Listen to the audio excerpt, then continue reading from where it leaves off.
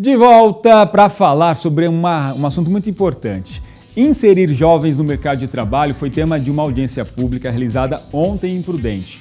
O Ministério Público do Trabalho quer conscientizar empresários sobre a importância de oferecer oportunidades para jovens, principalmente aqueles que estão em situação de vulnerabilidade.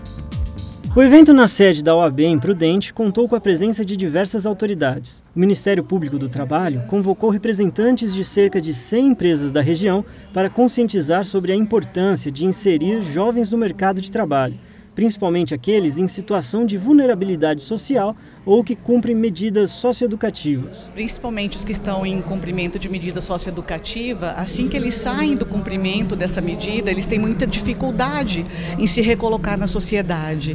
E com essa conscientização das empresas em acolher esses jovens como aprendizes, nós estamos dando uma chance deles mudarem o futuro. Por lei, as empresas são obrigadas a ter uma cota mínima de 5 a 15% de jovens aprendizes. Essa é forma segura de ingresso no mercado, a partir dos 14 anos, por meio de um contrato de trabalho especial por prazo determinado.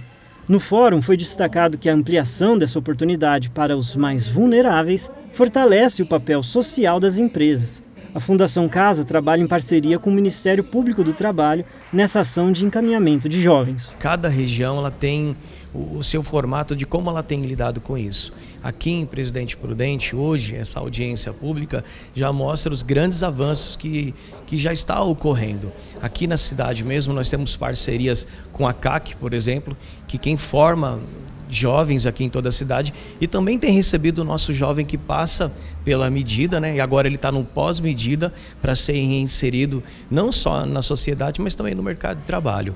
A gente tem que preparar esse jovem, esse jovem que está na Fundação Casa hoje, ele recebe todo o atendimento psicossocial, saúde, acompanhado por psicólogos. Ele passa por uma eu diria que até um nivelamento escolar, que muitos deles acabam chegando aqui sem saber português, matemática. A gente tem preparado ele para quando ele terminar sua medida, ele hoje também está integrando aqui aos quadros de empregabilidade da, da cidade e em outras cidades também.